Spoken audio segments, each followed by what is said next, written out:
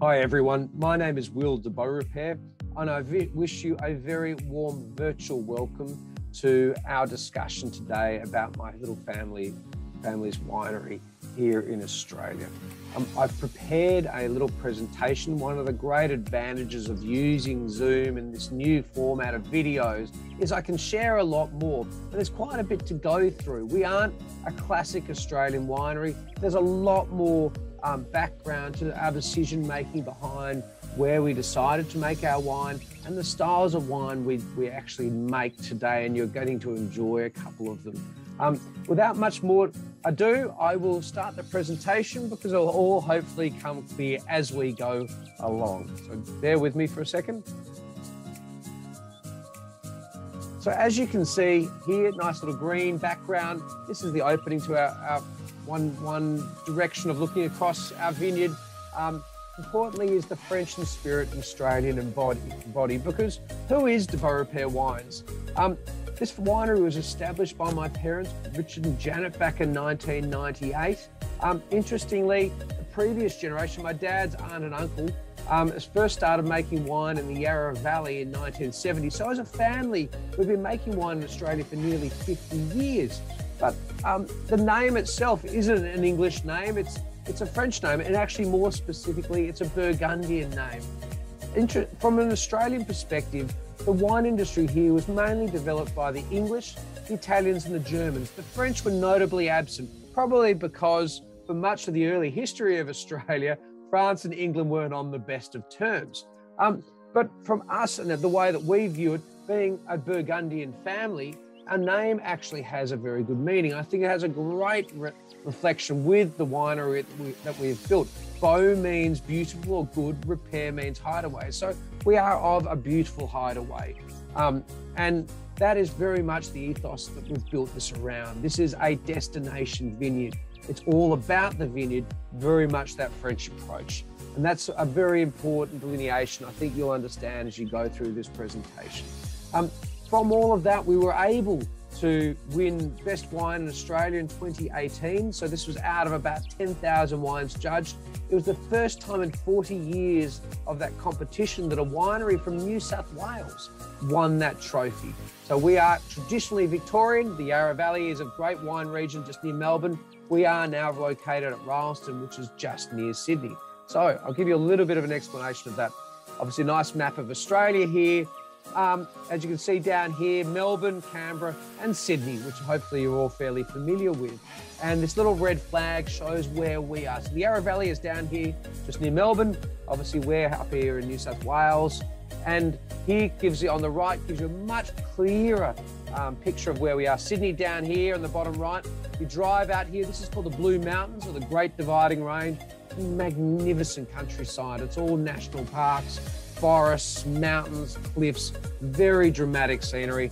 And we are just on the western side of that range, which is uh, quite important, as you'll discover in this presentation, at this little town called Rylstone. It's near Mudgee, which you may be aware of. It's about 10,000 people, or Bathurst down here, which is quite famous for its university. So, still very much in these Blue Mountains and the ranges, and uh, it gives you an understanding of where we're located.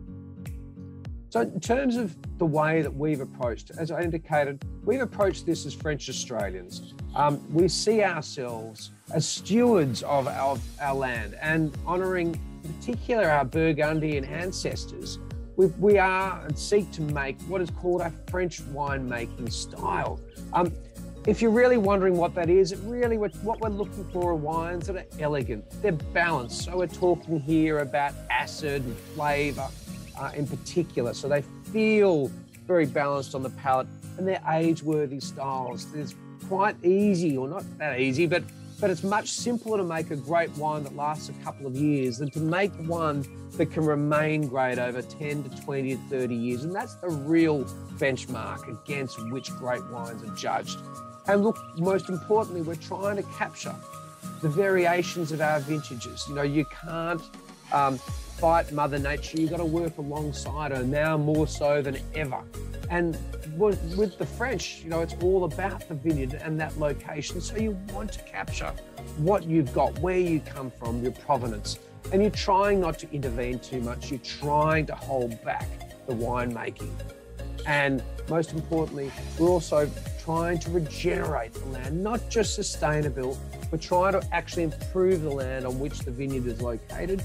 And we do that using various um, approaches, so things like green manures, rebuild the soil structures and rebuilding native and flora. Um, biodiversity zones around it, which actually have an enormous advantage in the vineyard because you have great pollinators and you also have great natural predators of a lot of the bugs that cause the diseases that, that historically we've had to spray harsh chemicals to control. We're really here about working with our environment, within our environment, and trying to make great wines that reflect that environment. And that is the French approach.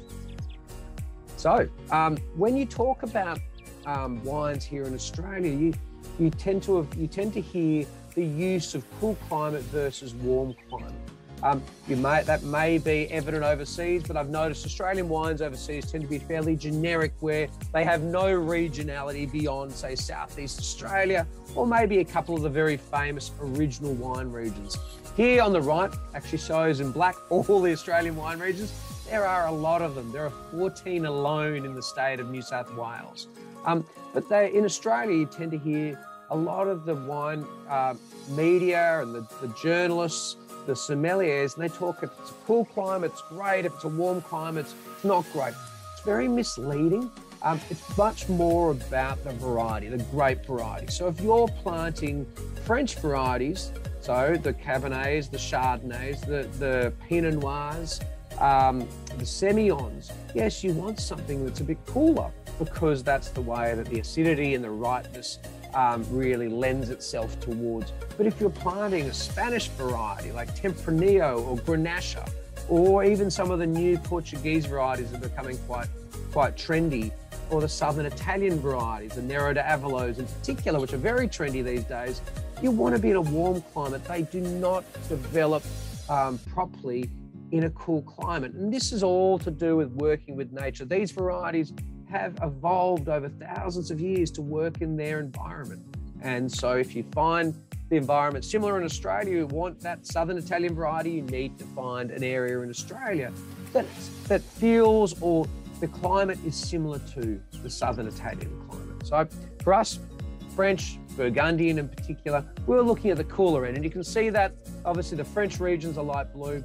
This is important, but it's not the whole story at all. Um, but in, interestingly, we're right down here at the very cool end. This is Tasmania, that little island just off south of Australia, and then Central Otago and New Zealand, a very famous area now, growing fantastic wines. Um, so, the way though the French look at it, they look at it much more holistically. So they use a term called terroir, and terroir is, is the combination, yes, of that climate, but it's not just temperature, it's location. Is it on the coast? So is it a coastal or maritime climate, or is inland continental climate? Is there hills and folds and valleys? Is are you below tree lines? Are you above tree lines? Is there a wall adjacent to your vineyard that may pull the cold air behind it, hold back the cold air as it gradually slides down a hill on a very cold morning? Um, so your topography is really important for that. Are you along a river? It's actually increasingly, incredibly important, especially for sweet wine production. Obviously, the flora and fauna, as I said, the trees around it, but also the native or and and sometimes the introduced um, species. But we're talking everything down here, lady beetles, which are magnificent predators of most of the pests in the vineyard. It's quite incredible when you think of how beautiful a little ladybird is, but the most pests, they're terrifying. And um, most importantly, it's the soils. And we'll talk a little bit about what, what influence soils have to play in the vineyard, and it's quite a substantial role. The most, I guess, the, the real catch all is here in Australia, you hear a lot of discussion about winemaker. Um, I tend to avoid the term. I tend to, if I'm going to use the term, it's wine grower. We grow wine because the vineyard makes the wine. In France, there is actually no term for winemaker. The term is vigneron, and vigneron is all about the vines, the vin, and that's why um, when you're talking about it with from this whole French approach is Australia classically takes it from the winery, and you see that with a lot of the big wines that you probably approach overseas. They're the blends of hundreds of vineyards. There is no provenance or local personality. It's a real tour de force of a winemaker who is taking a lot of different ingredients and producing a wine and trying to produce a consistent product. But in that process, you can sometimes lose the personality. Whereas the French are the vineyard, the personality of that vineyard. Put that in a bottle, don't mess it up, is their approach. So, vigneron, not winemaker, is the French approach. So, if you take this back a little bit, remember that we had that vertical axis, axes on the uh, before we're talking about temperature, so this is still the same now, but they've all been spread out, all these regions. It's because of this horizontal axis, the acidic, neutral, and alkaline. And this has to do with soils. So I'm not sure if you have to dig back to your school chemistry classes. It makes it a lot more interesting talking about chemistry and geology and biology when you're using wine as the crutch or as the demonstration tool. But the way to think of it is, is obviously is most soils are classically quite acidic, especially older soils. Australia has quite old soils. We're one of the we're the oldest landmass in the world. Some of the original rocks here are some of the earliest. So they've been leached with a lot of rain, which rain is quite acidifying, and a lot of soils, if they come from volcanic soil in particular, your basalts and your granites are quite acidic. And that's why a lot of Australian regions are on the regionally acidic soils, whereas you notice that all the French regions are within this zone here where they're mildly alkaline. And alkaline, you know, is the opposite of acidic. Um, and thinking sodium bicarbonate or bicarbonate soda, um, which is great for um, unsettled stomachs. That's um, alkaline to an extent. And uh, so all of their, their French regions have gravitated to this fairly concentrated position within um, this temperature versus soil type. And that's been through a process of thousands of years of trial and error. There were vines planted in many more locations in France than there are today. So, and over time, the successful ones were what, which were allowed to continue and were invested in, and they are the regions that we now have today. And over that time as well, the varieties work themselves out too. So, starting taking back to us to France with our mentality, let's talk a little bit about the French um, regions, and particular Burgundy, our homeland. So Burgundy, as you'll see, this is like a nice big couple of target circles, some squiggly lines. They really do actually are quite simple to understand. But what you'll probably pick up very quickly is where Burgundy is located. Here, right in the middle of France. It's called the stomach of France for a good reason. A lot of French cuisine, a lot of French cooking styles and food styles come from Burgundy. You'd be surprised how many. Um, but also, obviously, great wine too. So, wine and food are a great evolutionary match. They've evolved together, and you'll be surprised when you start going to the region and you drink their traditional food with their wine, it starts to make sense. So, in terms of the food matches, in terms of the wine styles, um, they have evolved. So, I'll explain some of these little squiggly lines. So, as I said, so Burgundy is right in the middle. So, it's 400 kilometers from La Manche, the, the English Channel, the Mediterranean, the Atlantic, it is not a coastal climate. It's not like Singapore. It's not like Sydney. It's a fair way inland. And what happens there is you, you lose the regulating temperature uh, influence of the ocean. The ocean doesn't change temperature that much, regardless of season. It doesn't heat up and cool down in summer and winter that much. Um, so it makes it quite enjoyable to live by the ocean. Um, as you move further from the ocean, as you move further inland, you lose that influence of the, of the ocean and you end up with this environment which has hot days, cold nights, big temperature changes overnight. Um, if any of you have been out in the desert, you will have seen that, especially when the soils can't retain heat. It loses all the heat at night. It gets brutally cold, even in summer. So this is what an inland climate is like. So it's called a diurnal variation means a big difference between nighttime temperature and daytime temperature. And that's where you can see here it's climat oceanic. With influence of the continent. So this is this green zone is where Bur- is Burgundy is located. And I've got a little picture here, which just effectively is saying is obviously uh, there's a large heating up and a large cooling down um, over the day.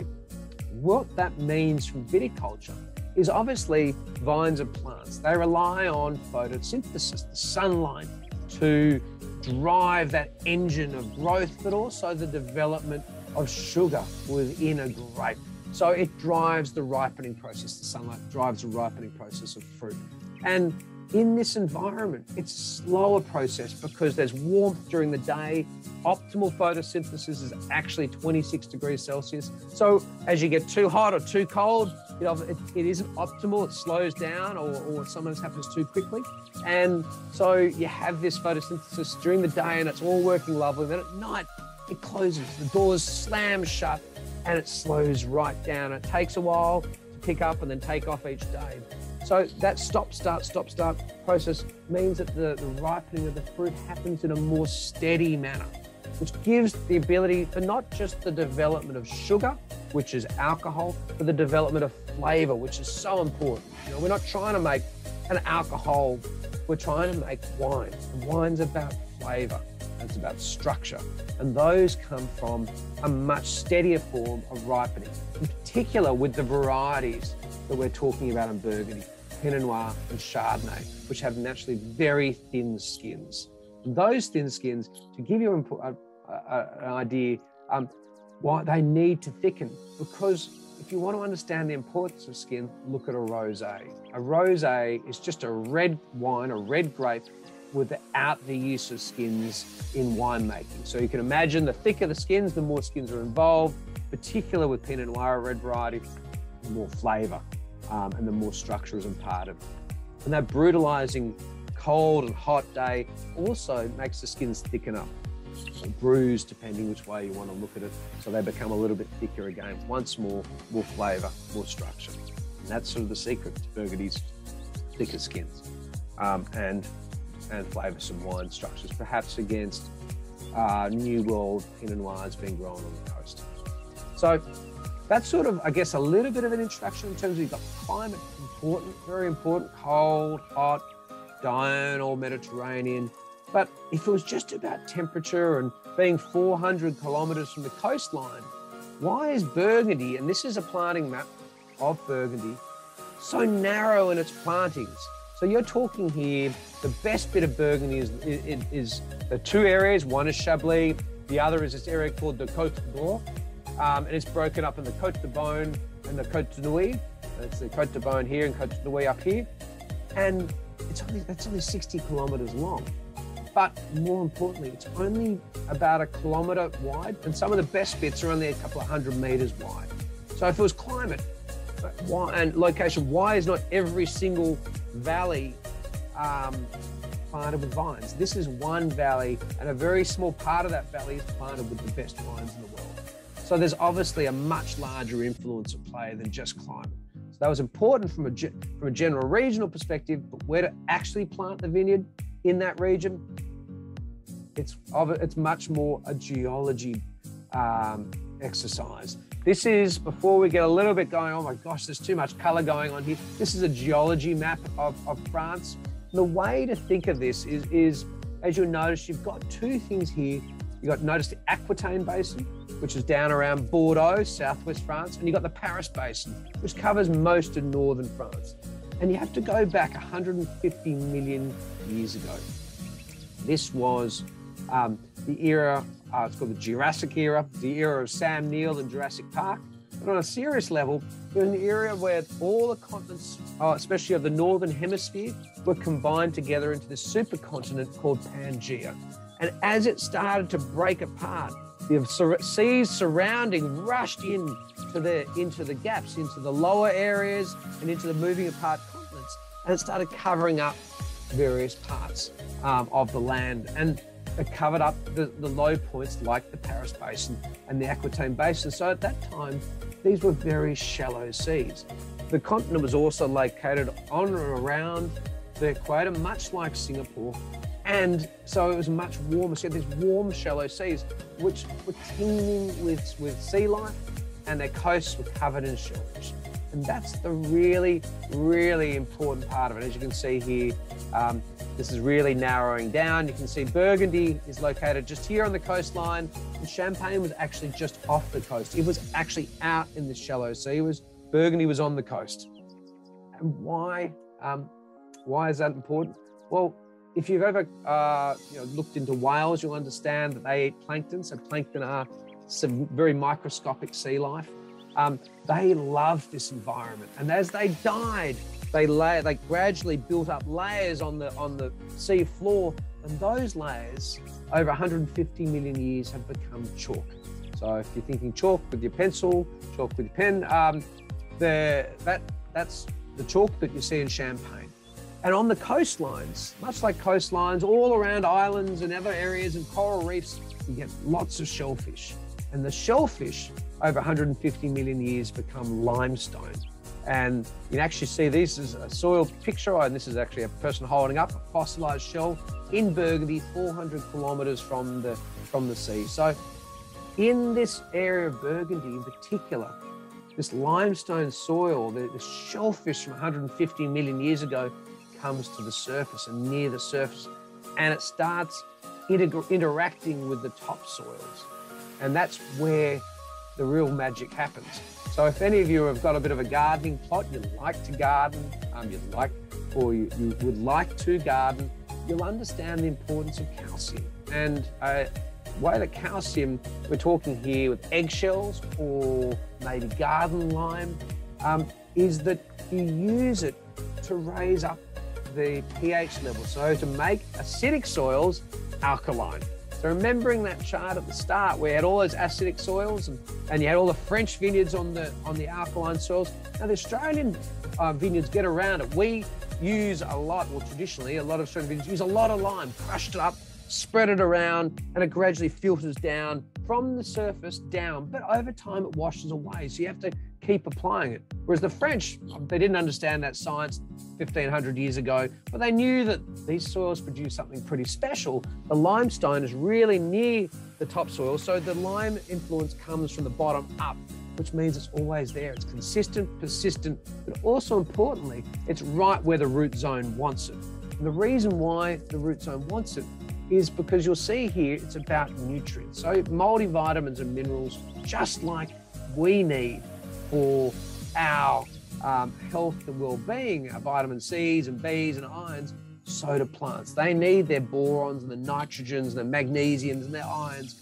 all for the same reasons we do, for skin health, for foliage uh, uh, health, um, for immune system responses, especially if you're looking to try and get the vines to do a lot of the pest defense or disease defense, so to reduce your spraying and your use of chemicals, you want healthy vines. And you'll notice that they're all much more accessible. These minerals are much more accessible at this mild alkaline environment.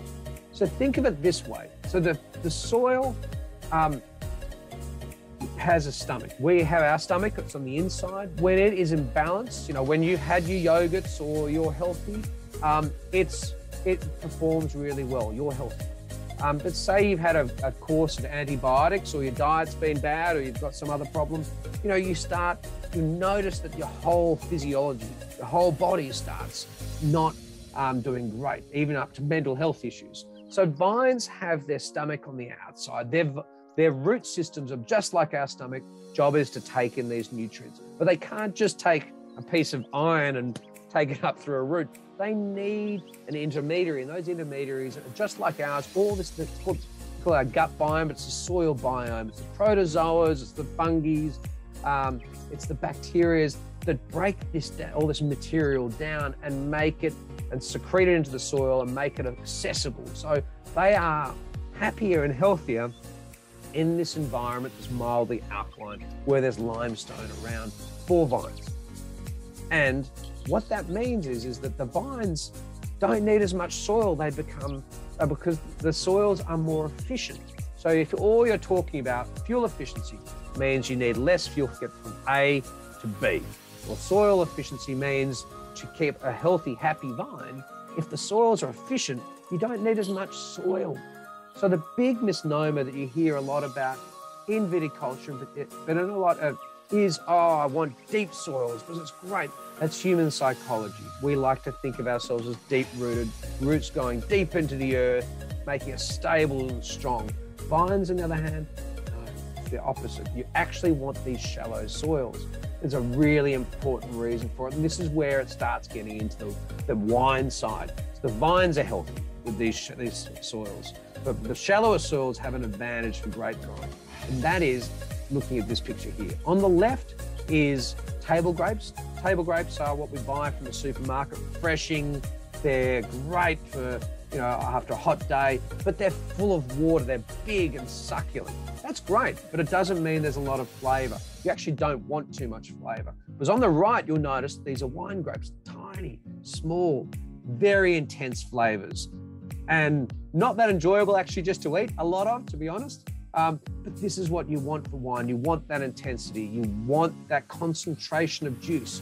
And how that comes about is because those shallow soils we talked about, um, uh, you know, are efficient. The vine is healthy. When it rains, there's not that much moisture retained. There's not a deep um, well or soil amount of soil, large amount of soil which retains the moisture. It's gone. So the grapes become water stressed water stressed, they become smaller. So on the left, the table grapes are obviously full of water, very refreshing, done by the irrigation or deep soils. On the right, the grapes are water stressed. And so the grapes become very small and are lacking in fluid, which is great because more flavour, more intensity, really important for wine. The, the French trial and error, thousands of years, these limestone soils enabled the production of quality grapes. So just a quick one, Louis Roederer here, Cristal, so it's the most expensive champagne in the world. Um, 50 centimeter deep soils, very shallow. And actually, this is this is their one of their vineyards here, straight onto the chalk at 50 centimeters. Or here we have Domaine Romanée Conti, most expensive wine in the world. Um, very, you know, crappy soils. So, so pardon the, the technical term, but soils that are yeah very rubbly, um, they've got enough nutrients. The vine is more than happy, but not retaining a lot of moisture. And it best happens on this mid slope of the hills of, of that valley in Burgundy. You know, we're talking about that best bit being maybe only a couple of hundred meters wide, is that middle zone. And because erosion has washed the soil down the hill, and there's just enough soil for the wine to get enough. And the deep soils and the valley floors, which have, you know, called colluvium, where all the soil's been pushed down there. Deep soils is where cheap Burgundy, you know, it's, it's I wouldn't, I buy Australian wine over cheap Burgundy any day of the week. But this middle zone, this is truly magical. So that's pretty much it in a summary. Limestone soils or chalk make efficient soils and they're naturally neutral alkaline, gives a healthy, happy vine, enables a shallower soil profile. You don't need as much soil because the soils are efficient. That makes the grapes water stressed producing smaller berries, giving more flavour and structure to wine. It's called the Holy Grail in viticulture. That's why a little bit of a joke on the right. Um, obviously seeking the Holy Grail in a wine glass. Um, so that brings us to us. This is a little bit of a cheeky picture. This is obviously on the uh, route de Grand Vin, so the famous wine road or route through Burgundy, and uh, a nice little picture of us being 12,742 kilometres away, which is the diameter of the Earth. So if you went straight through, you get to us from Burgundy or thereabouts. Um, the being Burgundian, this was important. Now, this is a picture of our vineyard now. What you can see here is we're on a little bit of a valley. Sort of, uh, there's a river off to the left, and there's some slopes down to it. Um, the distance across from where we're standing here to the very far side and down the other side, there's more vines, is 1.5 kilometres. So quite a distance, and the, and the width is about up to about half a kilometre wide. So very similar to Burgundy. So hopefully that's a bit of a giveaway a lovely, beautiful area of the world. Um, importantly for us, yes, we needed cool climate. We're looking for zone seven, which zone seven effectively means the same temperature range as probably you're getting in Europe. Um, it's cold, it does snow, um, and uh, you'll notice there's quite a bit of it in Australia. Um, mainly in on the mainland of Australia, it's altitude related in the mountains, especially up here. This is the border of, of Queensland, but down here in Tasmania, you're getting to latitude reliant. But same same temperature. Tasmania, as you remember, us and Tasmania were the same temperatures.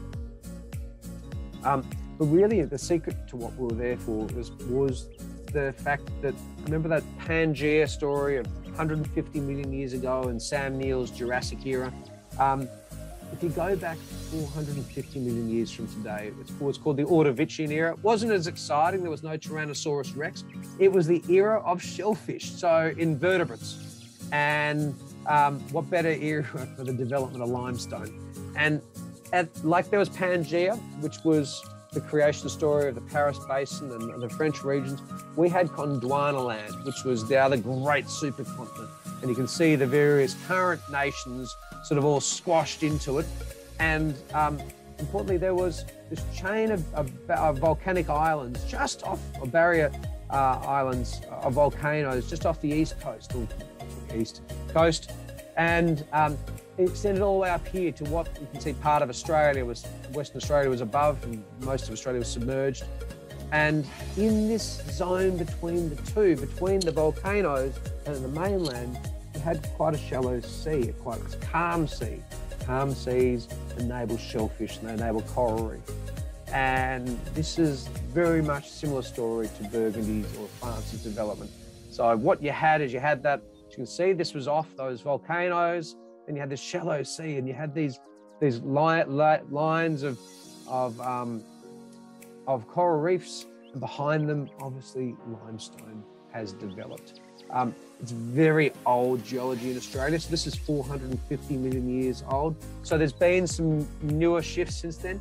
250 million years ago, Sydney, where Sydney came, uh, is now was pushed out of the water. The great the, the Great Dividing Range, the Blue Mountains, was pushed out of the water. It's sandstone, so it's it's sea floor, different to chalk. Obviously, just general sand, and um, that's overlaid a lot of this limestone, so it does disappear. You see it if you get the chance. You'll go to Jenolan Caves, just west west of Sydney, not far from us. Beautiful cave system um, in limestone, obviously, and um, we found this little area ourselves. Um, rather than walking around, you can find it maybe by a pH, an acidity testing kit. Um, it take a long time. The way you find limestone near surface is you go looking for, actually very quickly, see Rylstone here. But next, You can see next to it is a little town called Kandos and where we are. The way to find this is you go looking for cement because cement is crushed limestone. And cement isn't a very lucrative product. It's not gold or platinum. You know, you're not going to go and dig it hundreds of meters from below the ground. It's got to be pretty much at the surface. And right next to Rylstone, right in, right next to it is another little town called Kandos. And Kandos is very famous. It's called the, the town that built Sydney. It's a tiny town, but it had a very, very, very successful limestone business. You can see it, Kandos Cement, building the harbour bridge, building a lot of the, the buildings of Sydney. And once we knew that, we went, we, it was inland, it was cold, very we're high altitude, 650 meters. Um, and uh, we knew we are looking around the right area. We found our little valley that enabled us to generate the characteristics just like Burgundy and Champagne around here. So, like cold climate, mildly alkaline soils, real viniferous heaven or vineyard heaven. Um, definitely a holy grail, um, which is great for our surname being a beautiful hideaway. So Rylstone, if you ever get the chance, when you fly into Sydney and you get in a car um, or a chopper or even a light plane, um, come out. These are this is old country area, beautiful stone towns. So 130, 140 year old. Um, I call it country light in Australia. Have yoga instructors, we have baristas making beautiful coffees. A lot of artists now live in this area in particular. We actually have the best regional yum cha in Australia. Um, beautiful story, good friend of ours, Nalan. Um, she's from China. Um, her husband, Reg, is Australian. They met in China. She was in TV, he was in advertising, both very artistic. He had some land near us. They got married, moved there, and they decided they'd become artists and painters. But to pay for it, they realized they need to have some income source in the meantime. So she started making her family's um, dim sum and uh, and and all the dumplings and makes them by hand. Her mum's now moved out and she's in the back room. Beautiful, like amazing terrace. Not what you expect in a country town, but so hence I call it country life. Beautiful area of the world. Um, we're very lucky to be there. So um, that's the com- culmination of our overview. I'll talk a little bit about the wine separately, and we'll do a little bit of a Q&A with the general manager shortly. Thank you.